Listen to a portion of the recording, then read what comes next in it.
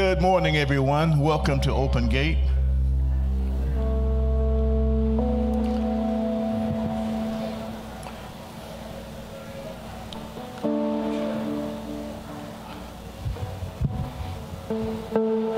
Hello. A little technical difficulty here. Yeah, I think you're on. All right. So we're glad to see you this morning. Glad to be here. God bless you guys for being here. We want to open up this service this morning. We're going to sing a few songs before we do that. Let's lift up the Lord in prayer. Let's bow our heads and pray this morning. Heavenly Father, we thank you that we're gathered here today before you, Lord. We pray that your spirit just move among us, Lord, as we worship together. Lord, that you feed us your word and we learn and we grow with you every day. Lord, we just open up our hearts and souls to receive from you this morning as we sing our songs and praise to you. Thank you, Heavenly Father, for bringing us all together on this beautiful Sunday morning. We thank you. In Jesus' name we pray. Amen.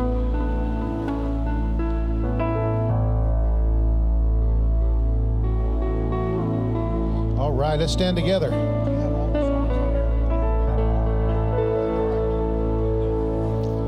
Hope everybody is doing wonderful this morning. June, summer, hot, high electric electricity bills. Yes. Wearing shorts.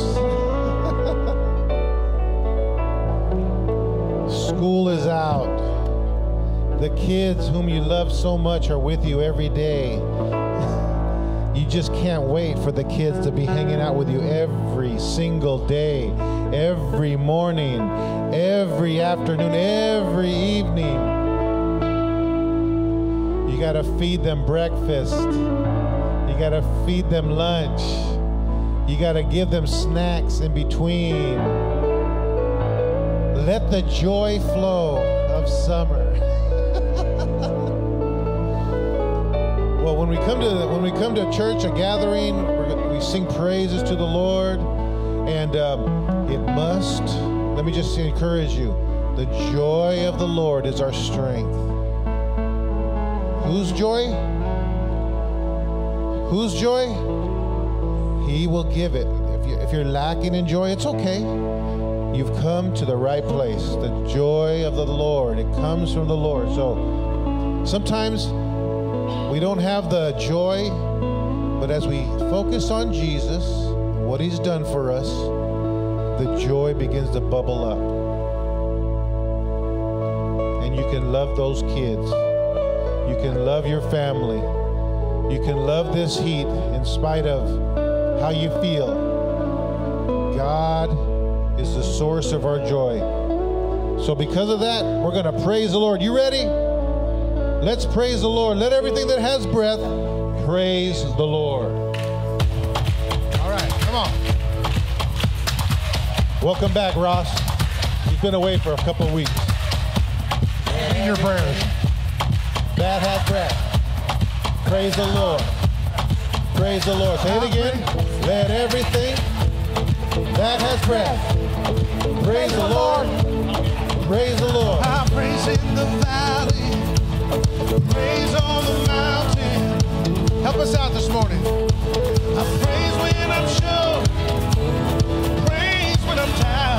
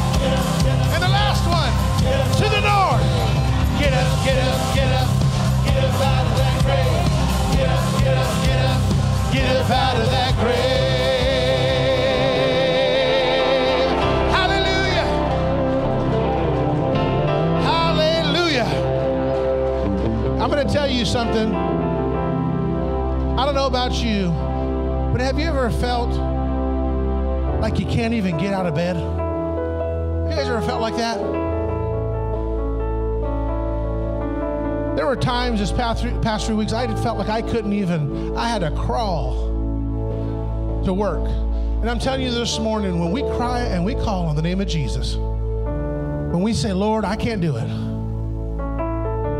Father, you've given me a story, you've given me a testimony. The enemy wants to attack your testimony. He wants to, I don't know if you know this, but the enemy, he wants to destroy all that God has done in your life.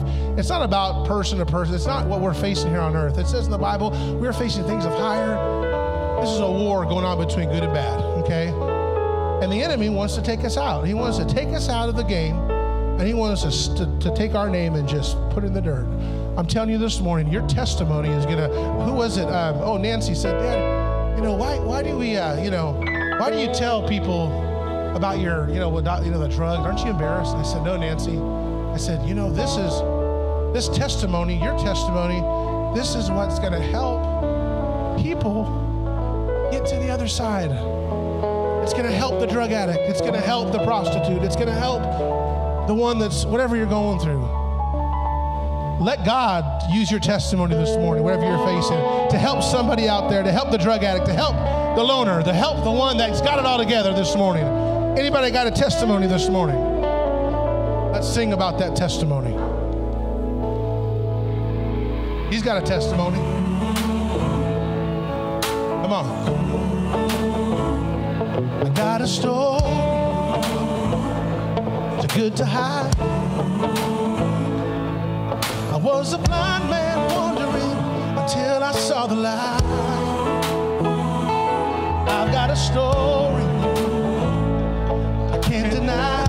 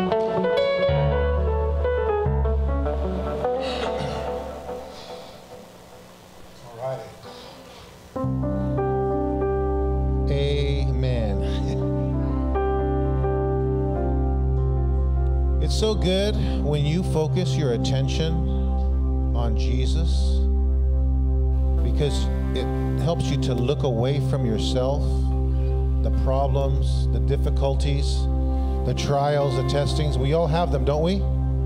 You know what? Let me just tell you something in case you haven't realized it yet. They're not going away. We will have them. And all of these, our old nature is there to show, to try to focus our attention on us circumstances, the problems, the trials, because they loom large. They can loom large.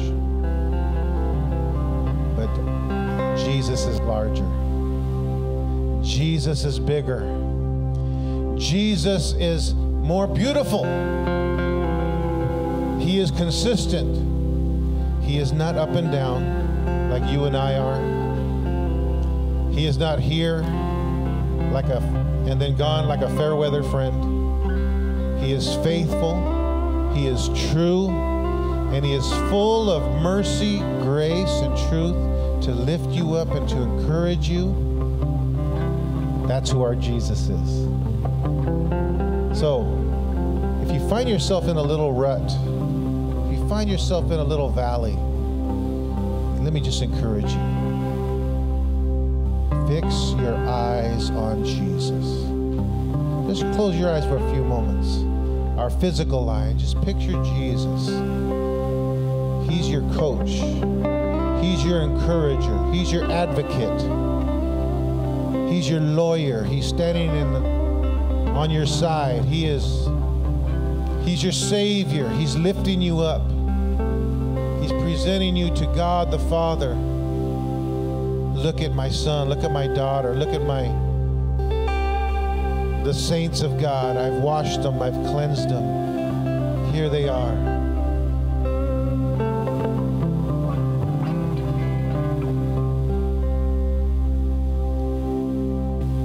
He makes everything beautiful. He's making you beautiful. He's making you stronger.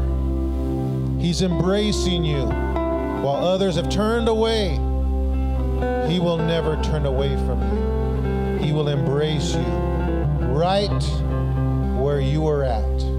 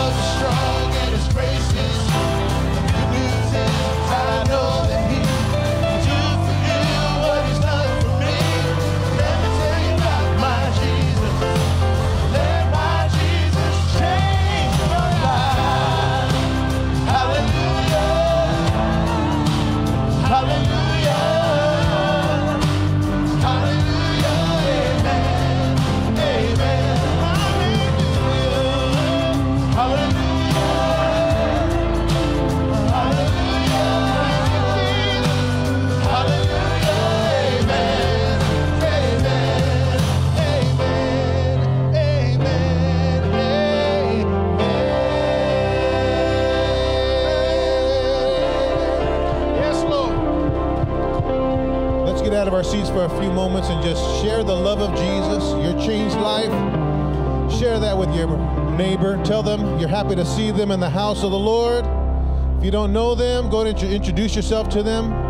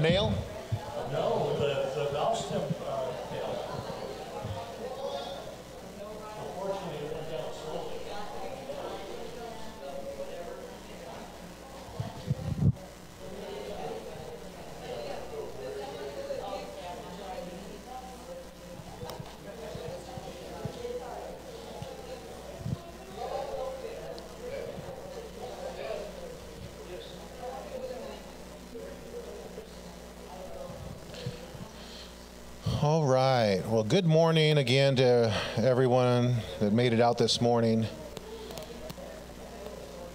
Welcome to Open Gate Church again. We hope that you do feel welcome here this morning. And um, thank you to the Lord for how He leads our steps. He's guiding us, He's our shepherd, leading us to where we need to go, where we need to be. And so we thank God that He is leading us, He's directing us. And um, he has been faithful to us. He's, uh, his word is a lamp unto our feet and a light unto our path. And he's always leading us to him. Isn't that cool? That he's always leading us to where he is. And so, um, and with that comes refreshing. I hope you have been refreshed this morning, worshiping the Lord and just experiencing his, his, um, his presence. He encourages us. Um, you know, last weekend, last Saturday, we were able to go to um, uh, Mill Creek Park and minister to some of the folks that are out there that are um, that don't have housing, um, that struggle, um, you know, with different different things, and so we were able to go out there and minister and just be um, provide love provide grace, provide mercy, and all of these things, we don't have them ourselves. We've received them from the Lord, and then we're able to give them to others around us. And so, um, what do we do? Um, we find the folks that are the thirstiest for these things. Jesus did the same thing. You know, he went to whoever he went to the untouchable. You know where the, un- the untouchable were in his time and day? The, they were the ones who were the, um, they had leprosy. They had leprosy, and according to the religious culture of that time, they could not interact with anybody because it was extremely contagious. And so what, they would have to do if you were, they walked around a lot, right? They didn't have no vehicles. And so when they would walk down the street, you know what they would say if they saw some people coming? They would scream out, unclean, unclean. So they would avoid them. And um, they, nobody could touch them. If anybody touched them, they would cause the other people to be unclean.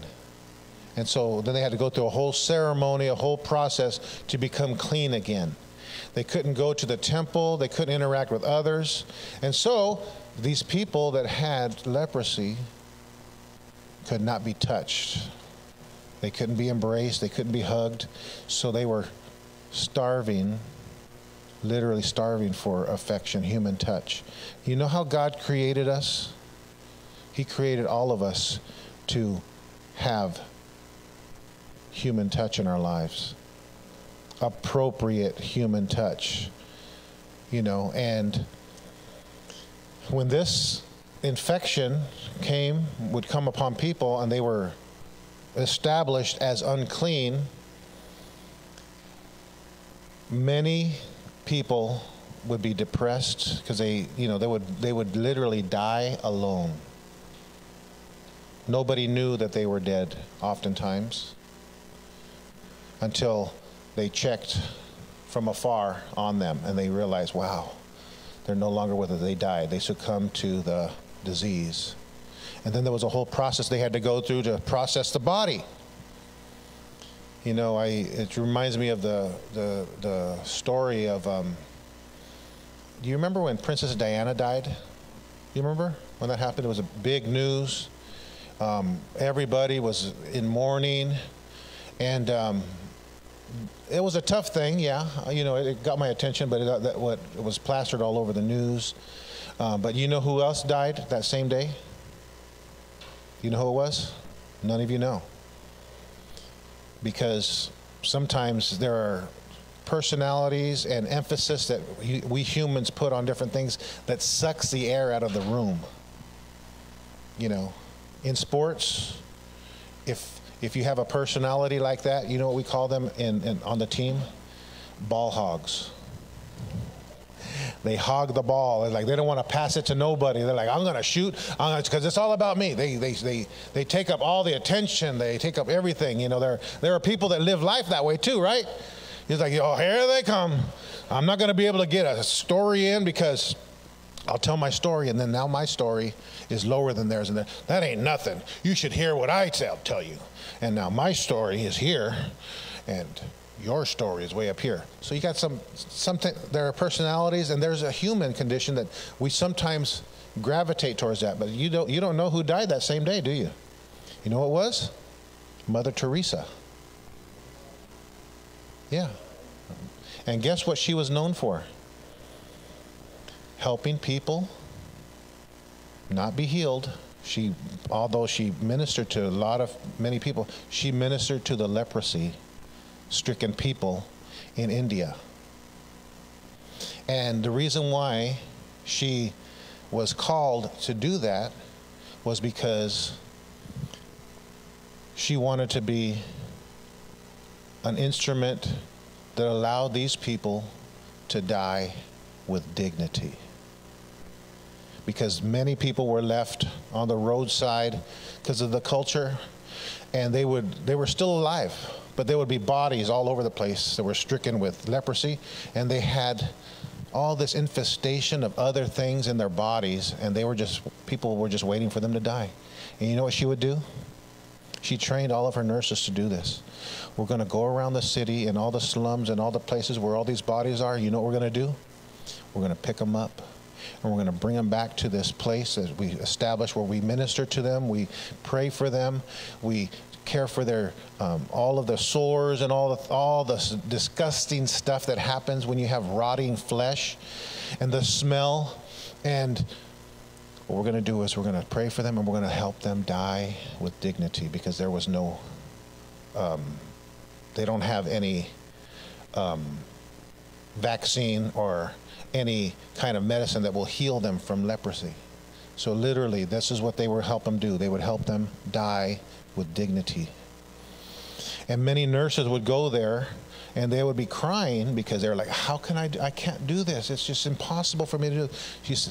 And she would just say, Hey, with the help of God, God will help you do. If you really, because many nurses would and people would come and uh, to India and they would try to go there and say, "This is what I want to do. I want to do," and they would get there, they'd be too overwhelmed. I can't do it, and they ha- she had to teach them spiritually that this is if you're not called to do this then you don't be here god will if you're called to do this god will equip you to do this and so this is what she was known for this little old lady hungarian lady wasn't even from india went to this place and ministered to these people who were dying giving them dignity and just seeing them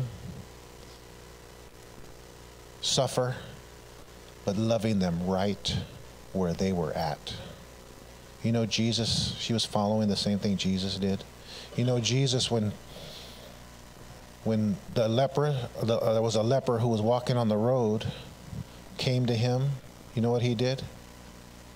Him being a rabbi, him being a religious leader, he went over to him, to the leper, and he touched the leper and healed the leper. But he touched him with his hands. And if you touch uh, somebody that has leprosy, you're going to be unclean too. But Jesus is not afraid of unclean stuff. He will affect our lives.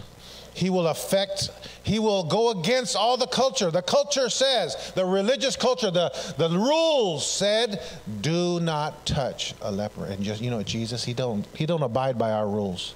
I'm going to touch him and I'm going to heal him. I'm going to minister to him. That wasn't the only one he touched. He touched many, many people he's, he's touched that were unclean. God is touching you and I, and this is the reason why we minister to who we minister to. Society's throwaways. Society has thrown away a lot of people. I remember when um, when we were first um, uh, coming together as a church, we were still youth. Uh, we are still maybe probably not even a year old. And we were doing ministry out at the, the river and, and different places. You know, we don't just, that's not the untouchable. Sometimes, sometimes there are people that are they're lawyers and doctors and that are all cleaned up. And they are hiding in their little untouchable cave that nobody knows about. They think, you know, the shame and, and, and the, just the inner prison that they're inside of. And they try to build this facade all around them to try to say, this is me. But they know who they really are. Well, um, you remember this, Maria? Um, Maria is the one that helps coordinate um, uh, sort of uh, the the, min- the ministry to um, the parks and, and, the lost, and she organizes all of our resources with her family and friends to get everything ready. And so, thank you for doing that, Maria. But you remember? Thank you. Uh huh. And um, do you remember when uh, we were a little weary because ministering it's it can be tiring. Do you know that? Were you tired? Uh, was anybody tired that went this past weekend, a Saturday, and uh, after the, the after that day, were you tired? Some of us were beat, you know, because it's it's it's hard. It, it, I mean, it takes. You're not just giving out stuff. You're also praying and asking God to help you step in where He wants you to help, and your flesh you know, it's like you you got to die to your flesh because your flesh is like, I don't want to do that. I want to do whatever I want, when I want, how I want, if I want. That's, you know, when, when we're like that, then, you know, we're, we're not exhausted at all because the flesh is just doing whatever it wants to do. But when you die to your flesh, it is exhausting. So we had been doing some stuff, and I, I, I, I don't know if you remember that. You don't even know what I'm going to say because I didn't tell you about this, but um, we were ministering, and then we, we would take breaks and um, and um, Maria was in a uh, she was a juror. And she was um, in a case i'm not going to get all into the case but she was there oh lord why am i here? You know i got to be in this case and stuff. And the one of the witnesses came up. And she was talking. She was struggling to be a witness. Guess what she was? She was a homeless gal, a gal who was struggling with addiction. And as she was sitting there, she's like, Lord, I know why you have me listen to this woman. This is, I need to get out there. There are more people just like her that I need to re- we need to reach. We need to minister to. And so the Lord was just giving her more encouragement, more strength so she could commit to being salt and light to whoever God has called us to, to reach. You know, we don't. It, it, it, doesn't matter. You know, sometimes people, you know, think, well, because you're doing that, I need to do all that. God's got somebody that you need to minister to. Whoever it might could be your coworker, could be a friend, could be a family member, somebody that's not, you know, doesn't have to fit all those um, symptoms of whatever is going on in society. You just got to be obedient. You know, one of the things that uh, was asked to Mother Teresa, she says, you know, because she had made an impact in the world and um, um, really affected, affected a lot of people. And some of the people would uh, interview her. She was, you know, a lot of people would, go on to get her attention and interview. So they, one of the people said, Hey, Mother Teresa, how can you explain, how do you describe how You've been so successful all these years, all these decades, time in and time out. You just, this little lady, and here you are really doing all this stuff. How do you describe how you got this success? You know what she said? Instantly, she said, You know what? She's really very um, full of authority. She said, You know what? God didn't call me to be successful, just faithful. I don't know what you want to call that. I don't know what you success. That's nothing. All God called me to do is do this, and I'm going to be faithful. And this is all that we're called to do: be faithful, to tell people about Jesus, and He's able to change. You know, there are some people. Um, we're ministering to them, and they don't realize that they need to change. Huh? Is that true? You remember being there? Hey, I'm good. I'm fine you know, all all hell is breaking loose all around us. You know, we don't even realize that we're blind. We're blind to it, you know. And then God sort of corners us, shepherds us, and He's like, "Hey, look it, things are a mess. You realize this? Yeah, you know." Um, and then we respond to Him, and we come to Him, and and um, we we experience His grace and His mercy. And in fact, do you know you being able to see what's really going on in, in your life, it's a healing. God's healing your, your, your eyes, helping you to see things accurately, and showing you not because He wants to be mean to us, but He's saying, "Look, this is where you're at, but here's where you I can take you to where you really need to be. It's going to be a blessing, but you gotta sort of admit and see where you're really at. You know, all of us have sinned and fallen short of the glory of God. Can you say amen to that? That's not because I said it. That's not because you say it or some church says it or some authority. It's because the Bible tells us this. The Word of God, it's a true and accurate statement. And so all of us are in need of a Savior. And so thanks be to God, that's the only way we can experience the grace of God, the mercy of God. We sort of, it's sort of making room for the love of God to come and hit us right where we're at. Uh, some of us, you, let me just say, you know what leprosy um, is a symbol of? You know what it is? Sin. In fact, some of us, we don't see our sin as leprosy. But let me just tell you something. You know what it is?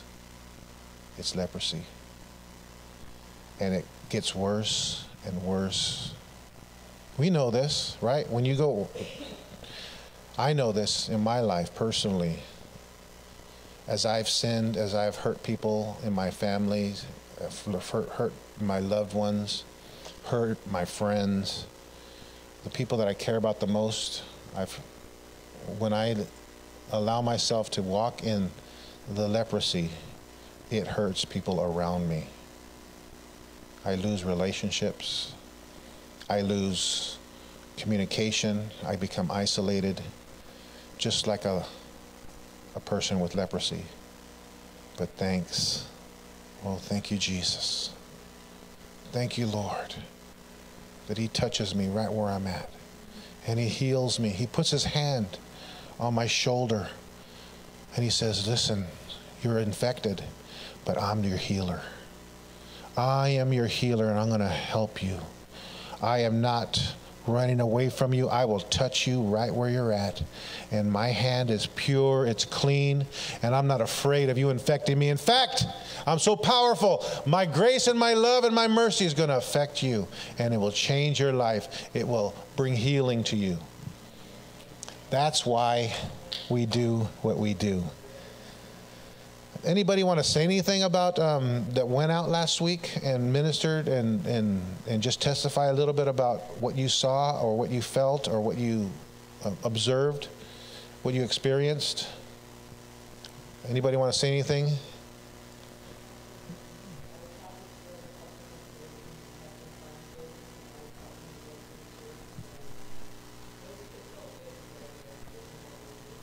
Beautiful, awesome. That's awesome, Nicole. You know, you know what I remember? Uh, we were. I look at some old videos when we first planted the church. It was during COVID, and you know what? You guys were there just walking through.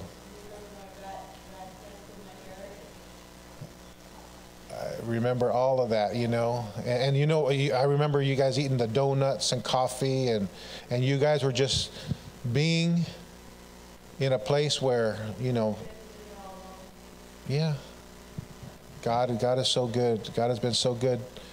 you know, the relationships and the talking and all that. It's just been beautiful. And um, are, are you, uh, Nicole? Let me ask you a question. Are you perfect? That's right. We're not perfect. but God is gracious. He's loving. He's helping us right where we're at. It's so beautiful. Anybody else want to say anything? Uh, okay, Maria, come on. Or I'm going to have you talk in the microphone so that way other people can hear. Thanks for watching online. Good morning, everyone. Um, yeah, I just wanted to say, you know what? We were so blessed to be going out there. And, you know, this morning, I didn't even recognize Nicole. And I've known her for a long time, but I looked, I'm like, there's a new sister in church today. And then I looked at her again, I'm like, that's Nicole. But that's what God can do to you. He can change you if you allow Him to. And that's what God showed me that He's changing her. And it all happens in the heart. And don't think that you have to just wait for when we go or when, you know, uh, there's an outing. But go to your neighbor. There's people all around here that are hurting. And God has put us in certain places at certain times to minister to people. Use that opportunity to do it because God is giving you that gift. And you may think, I don't know what to say. Honestly, I don't know what to say either but God tells me what to tell them. Just be open and allow God to use you because He wants to use everyone, not just me or, you know, people, certain people. He wants to use everyone if you allow Him to use you. Oh, you would be surprised. Amen. Right on. Beautiful.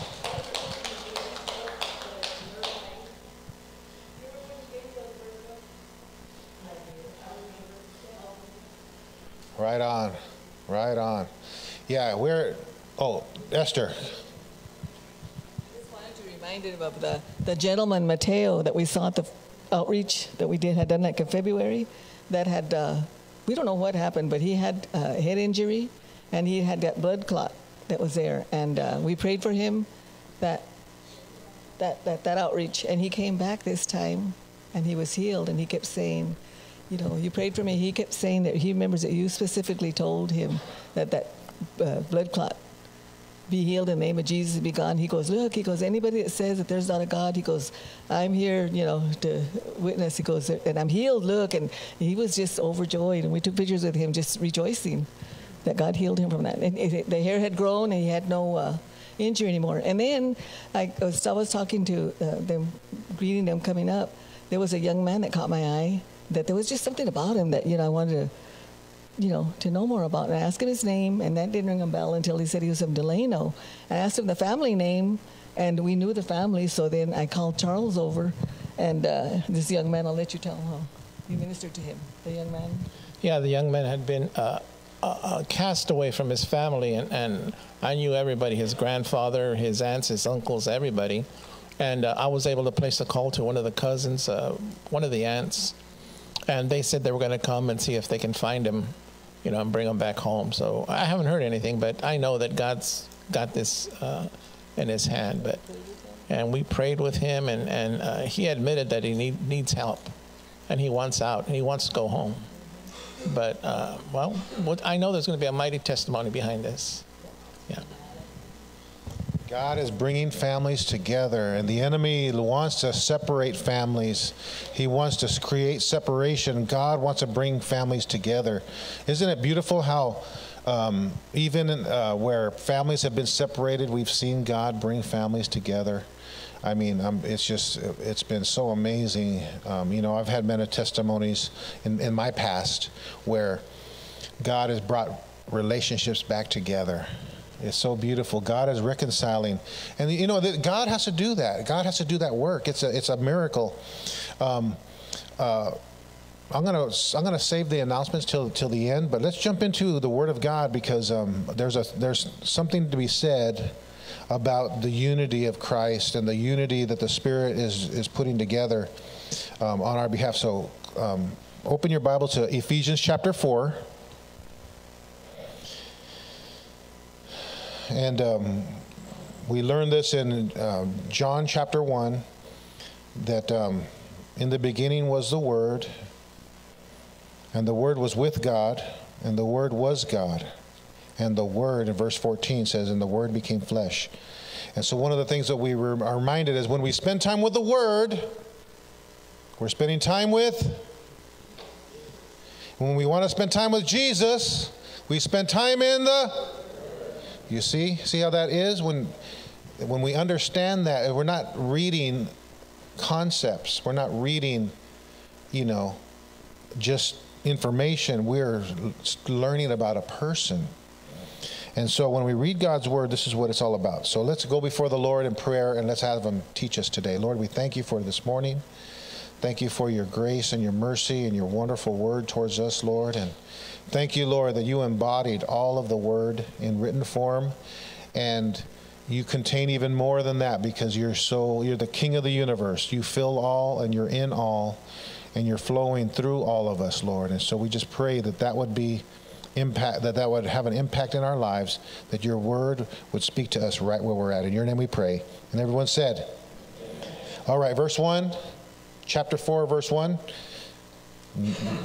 the prior chapters chapters 1 through 3 have been talking about everything that Jesus has gotten for us on the cross everything the blessings the it says in, in verse uh, in, the, in chapter 1, he says, We have been blessed with every spiritual blessing in the heavenly realm or in heavenly places. Say every spiritual blessing. That's what you got. What do you have? Oh, that's what you got. Not according to me, not according to you, according to the word of God. This is what we have. This is so what Paul is talking about throughout Ephesians in the first three chapters is what we have in him, what Jesus got for us. And you know, he Paul was given a ministry to minister to the Gentiles, and you know what his ministry was? To preach the boundless riches of Christ. Can you say that? Boundless riches of Christ. What was his calling? To preach the boundless riches of Christ. You know that's what you got? When we have Jesus, we have the boundless riches of Christ.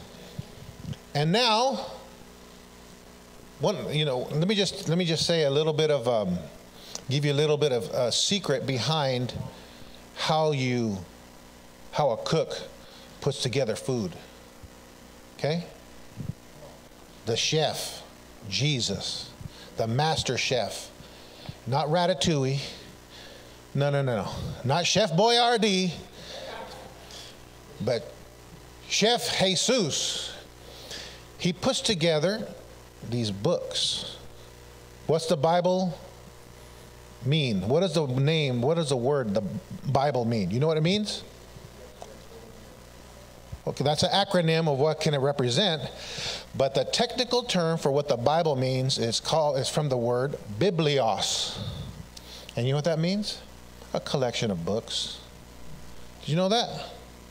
It means a collection of books, and that's what the Bible is a collection of writings that were inspired by the Holy Spirit, by men. Men wrote it down, different parts of the world, different languages, different backgrounds. And so when God puts it on the heart of man to write something down, it's a book. Paul was inspired by the Word of God to write to the Ephesian people in a letter from prison, and he's writing these things that he feels it per- pertains to them. Now, basically, it's a meal. Let me just tell you something. Some people, some pastors, some teachers, um, make it their thing to preach on a topic, or make it their thing to preach on a subject, or to preach on just a character or just a concept okay? Which is okay, it has its place, okay? However, the way a, the book, the Bible is put together, put together with books, with a bunch of chapters, with a bunch of paragraphs, with a bunch of sentences that has a continuous point. So, when we study here at Open Gate Church, we study a whole book at a time. What was it? Remember what the first book we started with when we started Open Gate Church? Remember what the book was? The book of Acts. That's right. We started with the book of Acts because we wanted to show this is what the church should look like in the beginning. This is what it looked like in the beginning. This is the way we should look like. We're the church of God, you know. Then we went to Galatians. Now, here's the difference between us and many other people, many other places. Um, sometimes, here's what, let me just tell you a little secret of how people preach whatever's going around in the society, or whatever's going around in the family or a problem, the pizza, you know what they do? There's a problem here. You know what I'm going to do? I'm going to preach about it. Yeah. Oh, look at that news. Look at that news um, uh, article. Oh, you know what? I'm going to preach about it. Now I'm going to preach all this stuff. So they're literally reacting to this world. Okay? Let me just tell you something. The world doesn't change you, you change the world. You are not a thermometer, you are a thermostat. You don't measure what's going on in this world by what's going on in this world. We measure by what God is telling you to do. And so when we teach the Word of God, we follow it chapter by chapter, verse by verse. And guess who's the chef?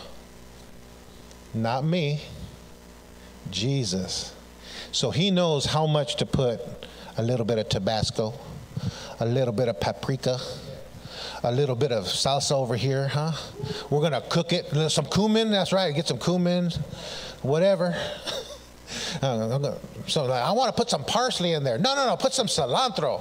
You know, we're gonna put some lemon. No, put some lime in there. you see, God is the chef, and He knows how much needs to be in a message. He knows when it needs to come in. He knows what we need, when we need it, how much we need it, if you need it. Somebody say amen. amen. God is putting the meal together. And so I'll tell you what, I've been so many times, I've gone to um, uh, uh, uh, pastors' gatherings, trainings, and seminars, and they're always stressed out. I'm like, what are you guys all stressed out for? You don't understand. When I get back, I got to preach a message. You don't understand.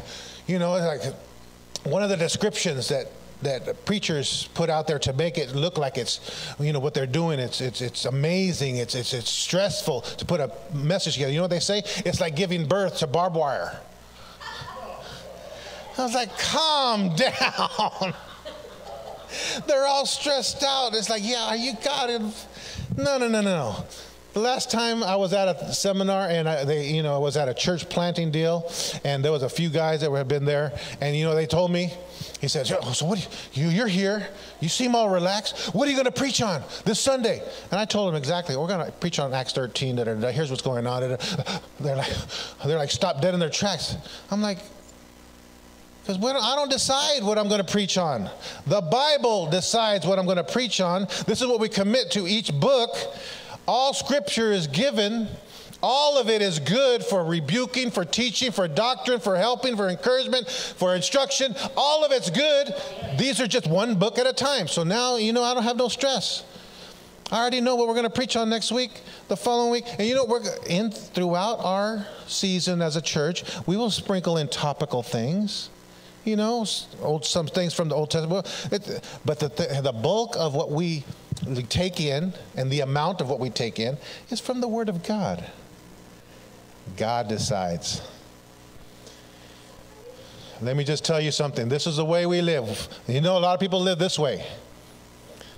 They, the Bible is beneath them.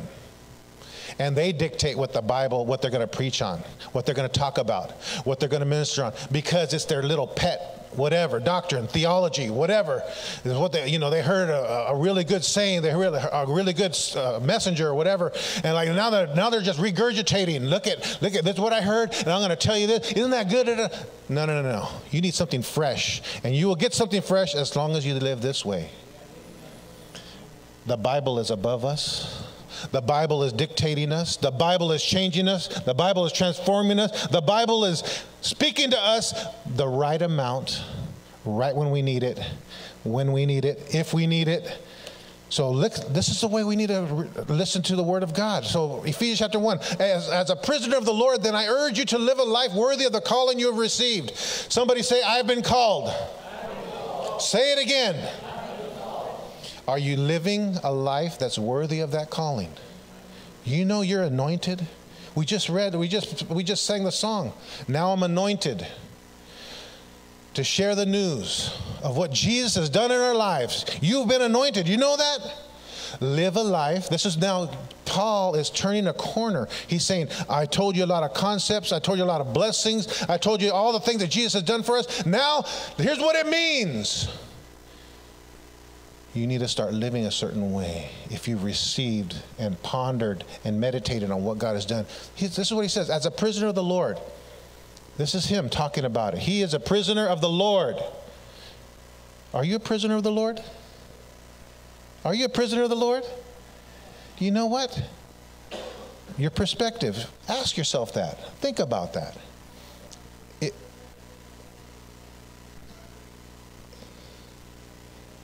Awesome. Beautiful. He, he is doing it. He is doing it.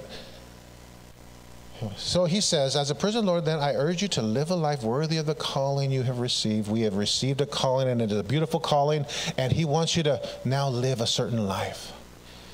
Not, he's not mad at you. He's not trying to throw darts at you. He's just simply trying to encourage you. Next verse. Be completely humble and gentle. Be patient, bearing with one another in love. Hello. Now, let me just tell you something. You know, in legalistic, uh, authoritarian type groups, they will just go straight, they will go pa- bypass the first three chapters and they will go right here. You know what you need to be? You need to be completely humble. You know what? You're not being gentle. And you know what? And furthermore, you need to be patient, bearing one another in love. That's what you need to be. Basically, telling people what to do. And that's not the way the Bible is. You see, he is referring to, go back to verse 1.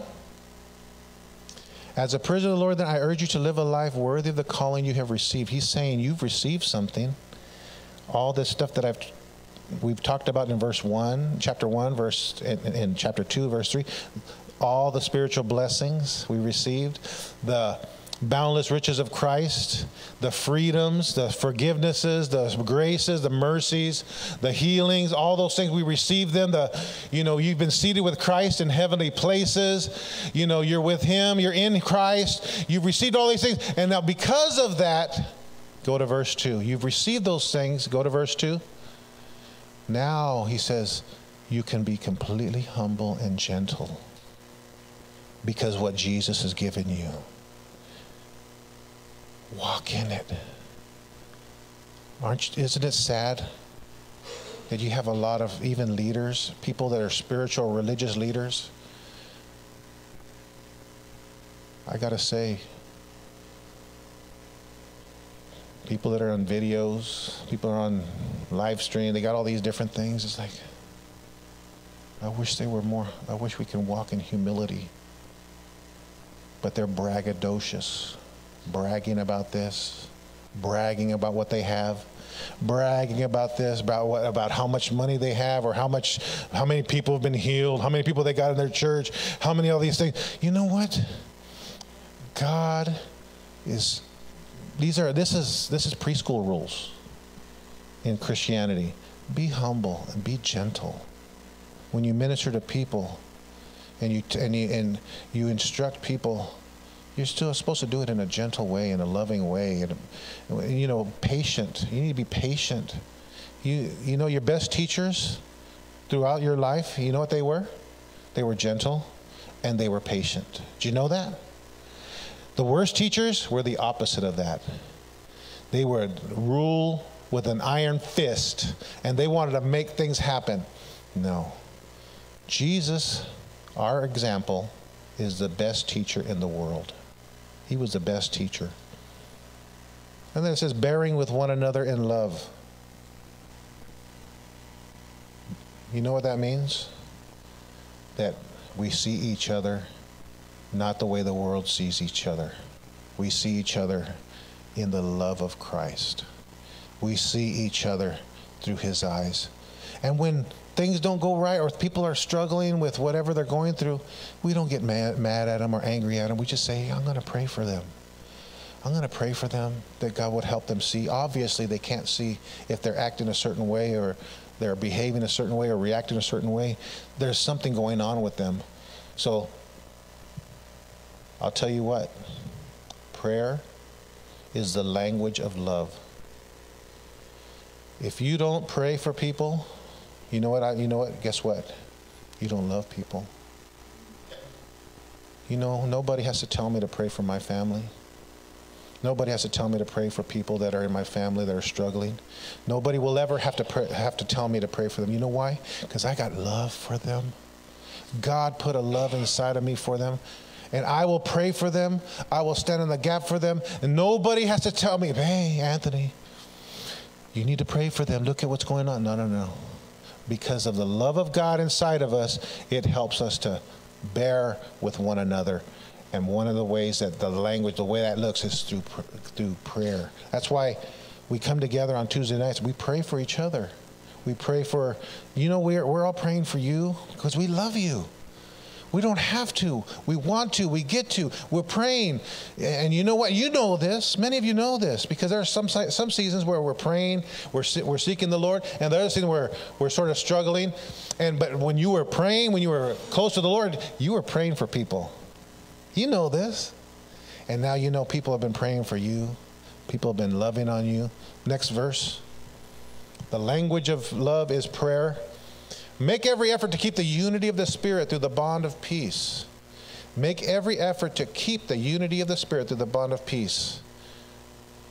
There's a unity because of all that God has given us, but He says in the middle of that sentence, keep the unity. Can you say that? Keep the unity. Say it again. Now, personalize it and own it. I will keep the unity. Say it again. You cannot keep anything unless it was given to you. Unity that we have is a gift. It's a gift from God. God has given that unity. You don't have it unless God has given it. You can't keep it unless God has given it to you. Do you have you received the unity of the Spirit? Father, Son, and Holy Spirit. The example, the triune God, showing us an example of three persons united as one the Trinity Father, Son, and Holy Spirit, where they talk to each other in Genesis chapter 1 and said, Let us make man in our image. Let us, plural, more than one. Let us make man in our, more than one image.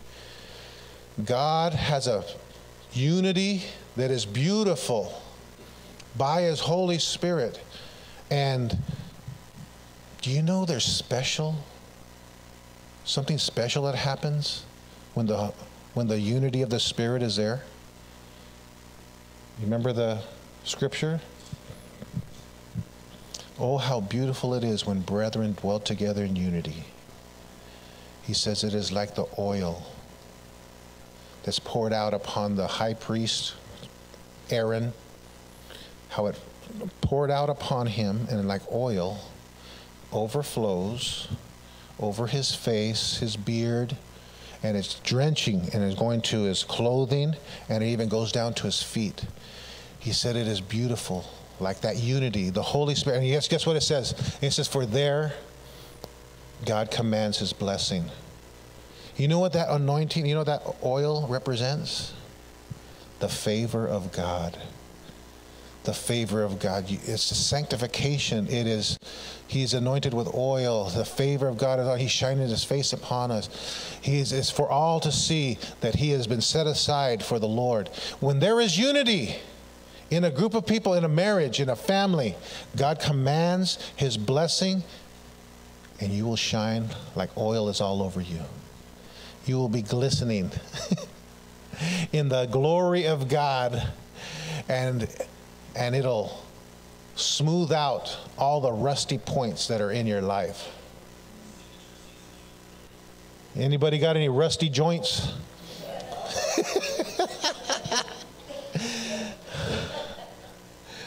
we need the oil of the Holy Spirit, and it comes when there's unity. We, you know what? Let me just say, it's okay. You know, God can even transform a group of a family of porcupines. The closer you get to them, oh no, man.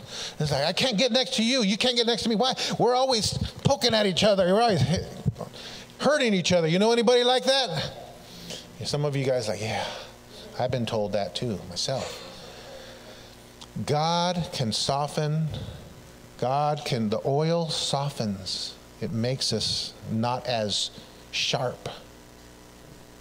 You know what? God needs to do that for all of us, doesn't He? You know, some of us, we need to put oil in our mouths.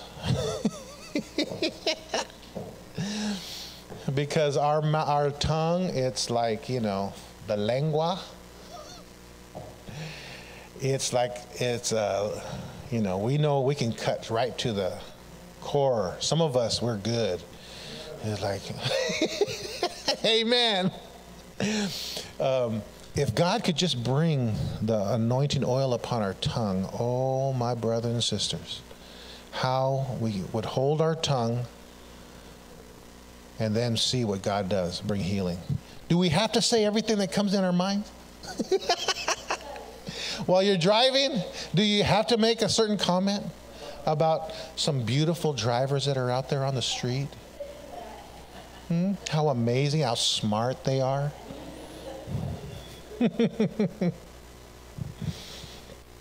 Next verse. Next verse. There is one body, one spirit, just as you were called to one hope when you were called. You see what he's talking about here? What he's repeating? What's the word repeated here? One. One body. Let me just give a little bit of um, encouragement here.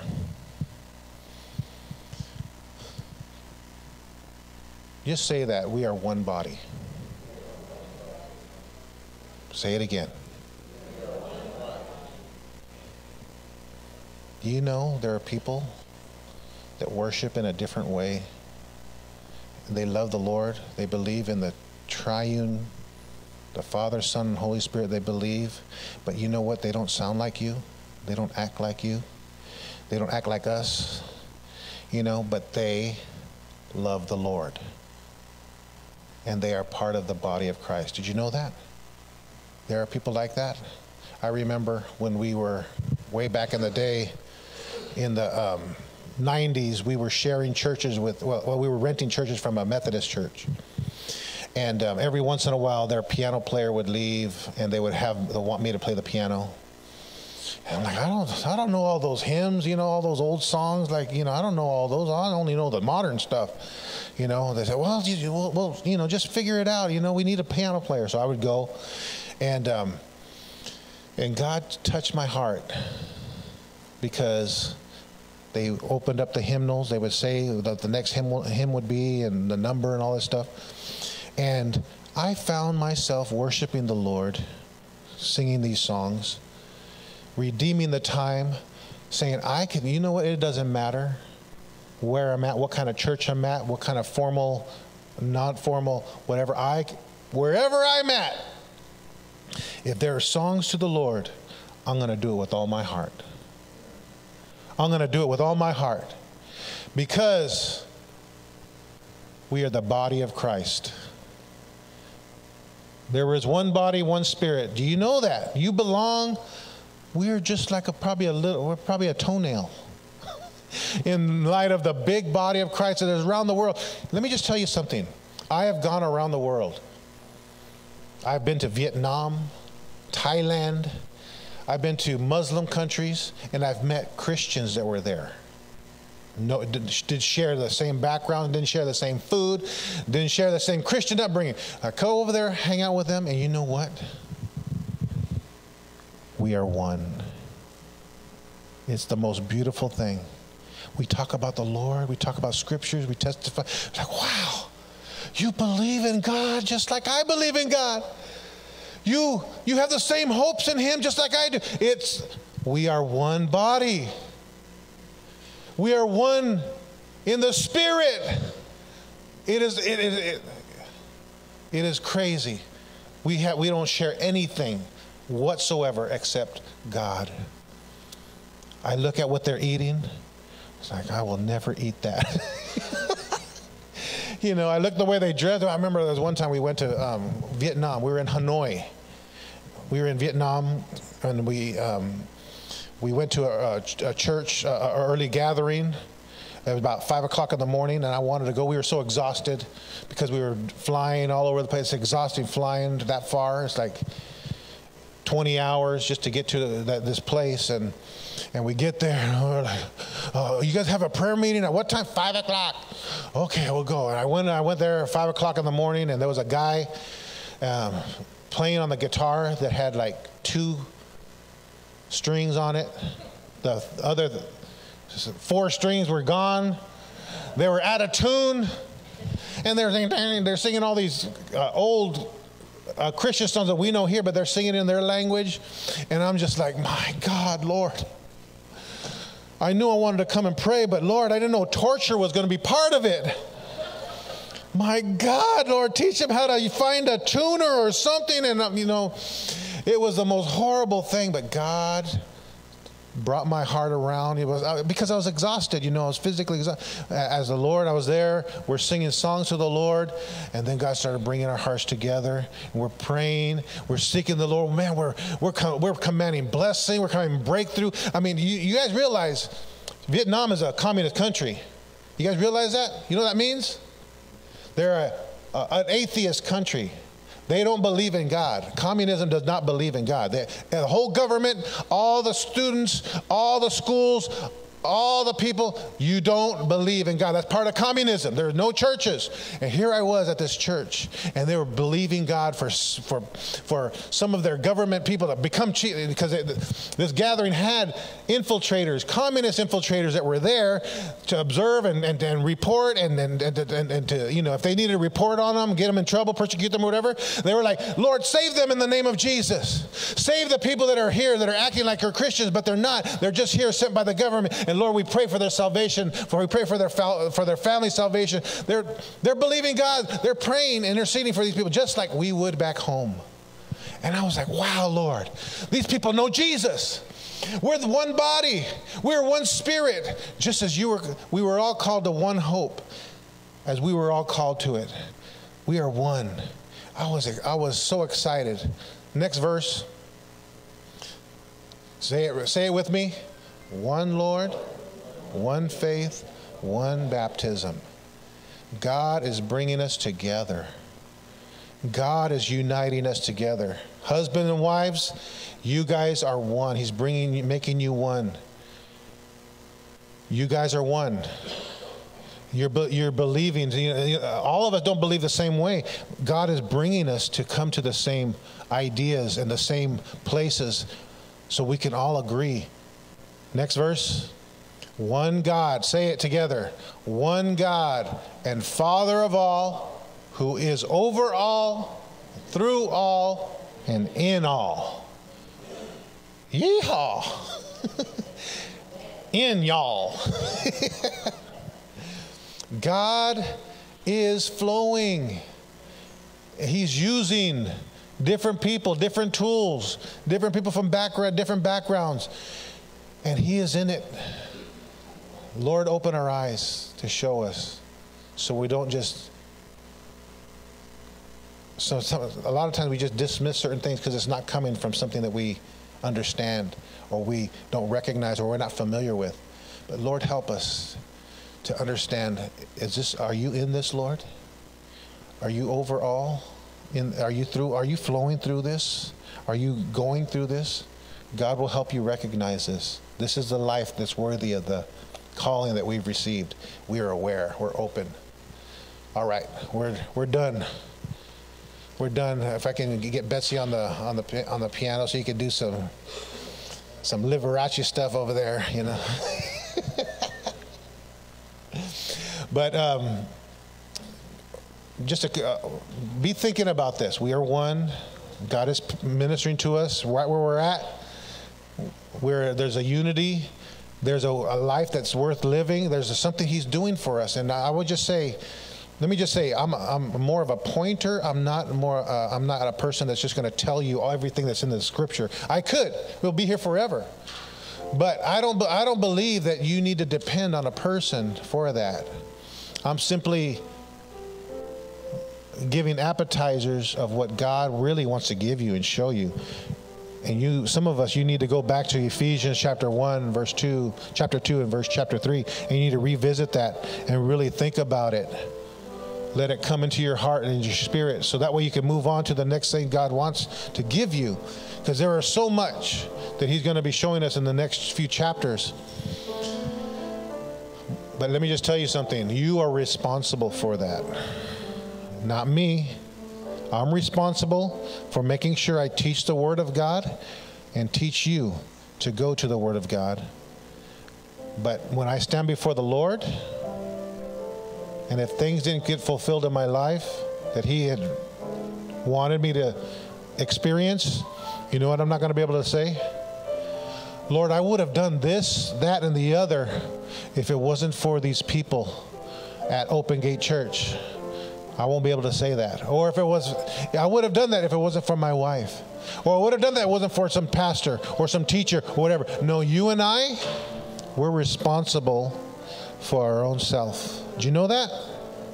You're going to stand before the Lord by yourself and you're going to give an account of what you did with God's blessing. Let me ask you a question Are you blessed? What? You are blessed. You are blessed. Let the blessings flow. Do you know miracles are coming in your life? You know miracles are coming in your life? Let me just tell you something. Some of you need a storm. No, Lord, I don't need a storm. Yes, a storm where miracles are raining down on you.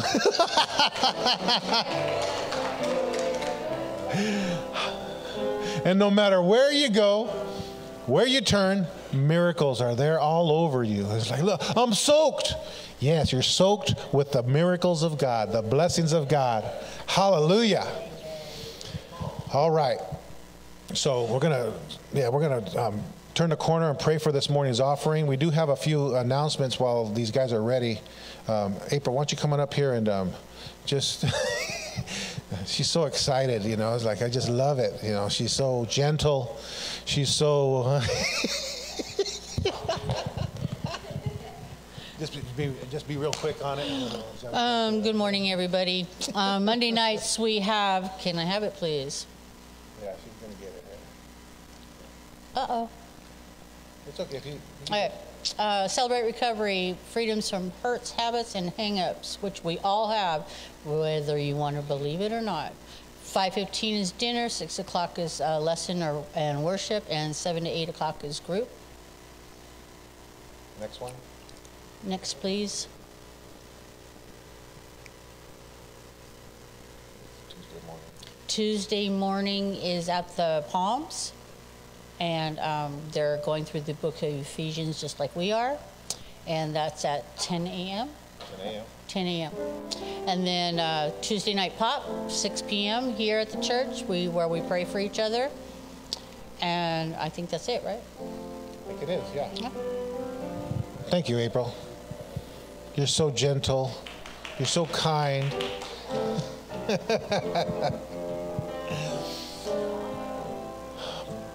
Charles, why don't you come on up here and pray for this this morning's offering? Come on, my brother. Come on, Charlie. Sorry, Charlie. Thank you, Pastor. It's. Father, we just thank you right now, Father God, for this opportunity, Father God, to come before you, Father God, and give, Father God, from our hearts, Father God, Lord. Not because that we need something, Father God, but because we know that you're going to do this for your own kingdom, Father God, Lord. We we uh, bless those that can give today, Father God, and we bless those that cannot, Father God. But whatever they give, Father God, we ask that you bless it, Father God, that you cover it, Father God, and, and do what you your will is for this blessing, Father God. And we thank you right now in Jesus' name. Amen. Amen. Amen.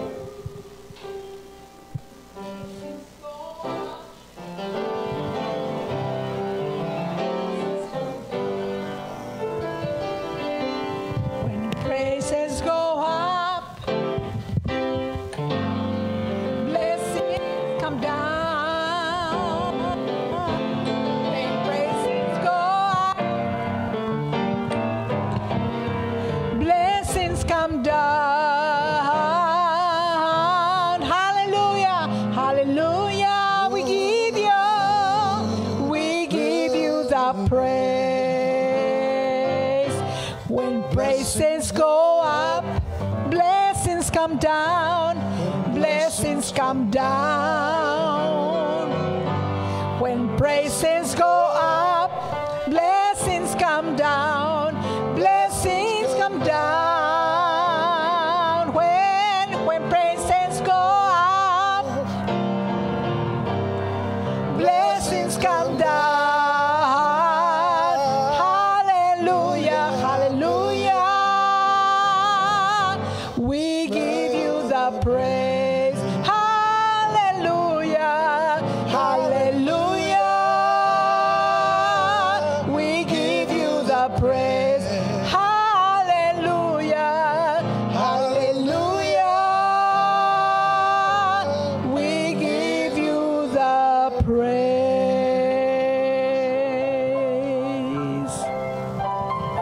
Stand together. I see the body. You are one in the Spirit, and the Father is in all. He's in you all, He's through you all, flowing. When I see that you guys are living a life worthy of the calling that you have received. That's what you guys are going to do. Not because of how great you are, but as how great He is. Not because of how loving you are, but because how loving He is. He is flowing through you, He's blessing you. And watch what God does this week. God bless you. Have a wonderful week. If you want to come up in the front and uh, get some prayer, I'll have some of the leaders here. We can pray together. But you have a wonderful week. We're, we're going to be praying for you this Tuesday night. God bless you.